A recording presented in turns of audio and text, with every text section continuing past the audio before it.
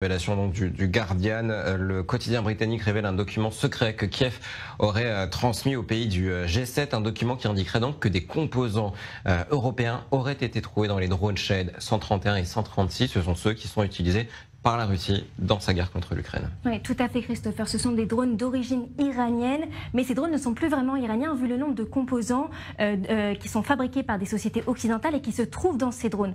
On parle de 52 composants électriques pour le modèle Shahid 131 et de 57 composants électriques pour le modèle Shahid 136. Alors, parmi les fabricants, on trouve des sociétés qui sont basées, alors la liste des pays est longue, euh, aux États-Unis, en Suisse, aux Pays-Bas, en Allemagne, au Canada, au Japon et en Pologne.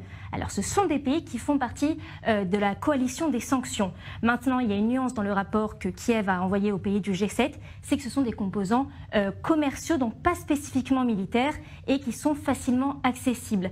Et les usines de fabrication obtiendraient ces composants par des moyens détournés. Alors justement, on va parler de, ces composants. Comment ils obtiennent ces composants et comment l'Iran les transfère, notamment à la Russie, puisqu'il y a, vous l'avez dit, euh, des sanctions qui interdisent clairement à, à Téhéran d'exporter ces technologies?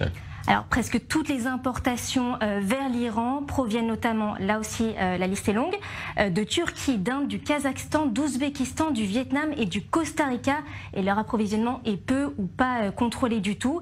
Alors maintenant, les livraisons de drones de l'Iran vers la Russie, elles s'effectuent par les routes de la mer Caspienne depuis un port iranien. Et c'est comme ça qu'ensuite elles rejoignent la Russie. Maintenant, là où c'est intéressant, c'est que l'Iran a en plus diversifié ses lignes de production. Aujourd'hui, on trouve des usines qui sont notamment en Russie, mais aussi en Syrie. Et euh, la Russie et l'Iran travaillent déjà sur un nouveau moteur pour le Shahid 136 euh, qui devrait offrir une, meilleure vitesse euh, et, une meilleure autonomie. Des moteurs que, l'Occident, se souvient, hein, accuse Téhéran d'avoir testé notamment sur, sur le, satellite qui a été envoyé hier. quelles sont les, options de Kiev face à ces attaques de drones et qu'est-ce que Kiev demande surtout? Alors en deux mots, des armes efficaces. Kiev demande des armes pour abattre ces drones et pour frapper directement à la source. Maintenant, dans le document que Kiev a envoyé au pays du G7, il demande la possibilité, alors je cite le rapport, de mener des frappes de missiles sur les usines de production de ces drones en Iran, en Syrie, ainsi que sur un site de production potentiel en Russie.